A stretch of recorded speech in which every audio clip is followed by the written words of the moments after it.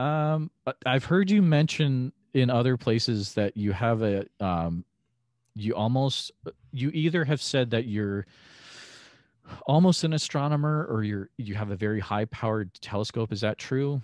Oh, I've got like a nice, I've got like a nice, a nice uh, eight inch mid uh, Meade Schmidt Cassegrain telescope. Um, I, I did start the track to be an astronomy dash physics major until oh, wow. uh, until calculus two just kicked my ass, and I said I don't want to do that for a living. I've, that's yeah. what I heard. Yep. Yeah, okay. like what is cal- calculus two? I don't want that as a part of my regular everyday life. Hmm. Yeah. So when you look up into the skies with this telescope, what what are you looking for? Something I haven't seen before, or, or something you know, something new. I guess novelty, essentially. Um, like right now, if you look out to the west, a little bit out, the moon rises, you know, but Mars mm-hmm. is up. Okay, exactly. well, yeah. So if you want to check out Mars, and you can see this through uh, fairly low-powered binoculars as well.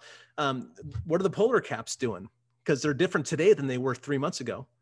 You know, like you, you can yeah. see these things. You can see these things. You know, and I think that stuff is cool.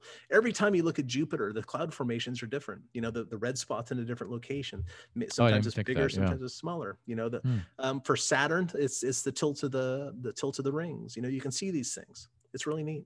That yeah. is cool. You could probably see a lot of cool stuff because you guys are you're you're pretty far out there where you're at in the Boring area, right? Oh yeah, or, yeah, sure. Yeah. But you know, I grew up in yeah. Long Beach, California, and I was looking at these things through the telescope then too. Oh, okay, cool. Yeah, you can do it. There's no excuse as long as it's clear. You can go outside and find stuff that's really amazing to look at, and just rejoice in the beauty of the universe that surrounds us. That's awesome. Yeah, it